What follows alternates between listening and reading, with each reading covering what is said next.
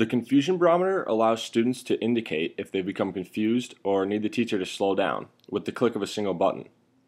On the teacher's page, you'll see a graphical representation showing the number of confused students at all time.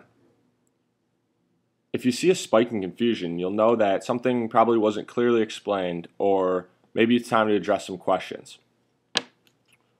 The confusion barometer isn't automatically enabled when you create an event.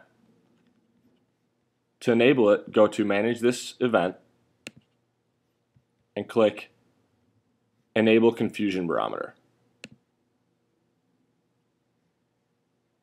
At the top of this page, you'll see the graph that will show you the number of confused students at all times.